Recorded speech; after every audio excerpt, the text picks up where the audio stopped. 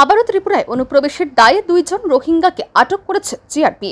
শনিবার তাদের police remand চেয়ে আদালতে সোপর্দ করা হবে বলে জানান জিআরপি থানার ওসি তাপস দাস। প্রসঙ্গত, বাংলাদেশে অস্থিরতার জেরে ত্রিপুরার সীমান্তগুলিতে বিএসএফের কড়া নজরদারি চলছে।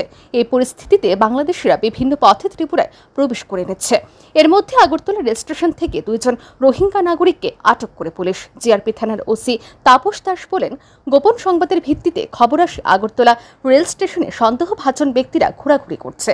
ওই খবরের ভিত্তিতে পুলিশ অভিযান চালিয়েছে।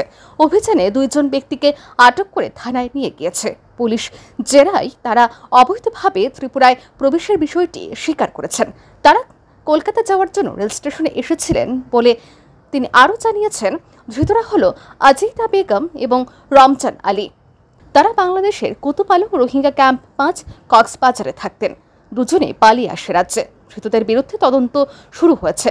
তাদের সঙ্গে আর কারা যুক্ত প্রত্যেকের সন্ধানে তদন্ত হচ্ছে। তাদেরকে পুলিশ রিমান্ড চেয়ে আদালতে সোপর্দ করা হবে। গতকালকে আমরা দুইজন রোহিঙ্গা নাগরিককে গ্রেপ্তার করেছি।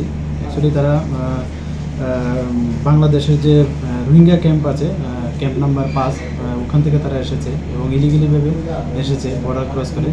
তো জিজ্ঞাসাবাদে তারা বলে যে তারা কলকাতা যেতে চেয়েছিল আর কি ট্রেনে করে। যে তো এই নিয়ে আমরা আগরতলা জিআরপি থানাতে একটা মামলা গ্রহণ করি। তো আজকে আমরা ওনাদের আমাদের আগরতলা লার্নেট কোর্টে পেশ করছি আর কি আজকে।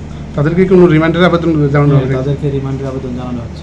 এবং তাদেরকে তারা যেভাবে এসছে তাদেরকে কে সাহায্য করেছে সেই ব্যাপারে আপনারা কি তদন্ত করেছেন? আহ, এ ব্যাপারে তো তারা এখনও বলছে না। তো আমরা দেখি রিমান্ডে আমরা আনব প্রেয়ার করছি। তো কি বেরিয়ে আসে। তো অবশ্যই আমরা তাদের মোবাইলও পেয়েছি। তো এখান থেকেও পারব আমরা সিরিয়ালের জন্য পাঠিয়ে দিয়েছি। তো আশা করি এটাতে যারা ইনভলভ আছে অবশ্যই আইনের আওতায় আসবে। তাদের কাছ থেকে আর কি কি উদ্ধার করা হয়েছে? তাদের কাছ থেকে এমনি ইন্ডিয়ান কারেন্সি আর তাদের যে স্মার্ট মোবাইল ফোন এগুলো পাওয়া গেছে। এমন তো বৈধ কোনো কাগজপত্র নেই তাদের? না কোনো কাগজপত্র পাওয়া যায়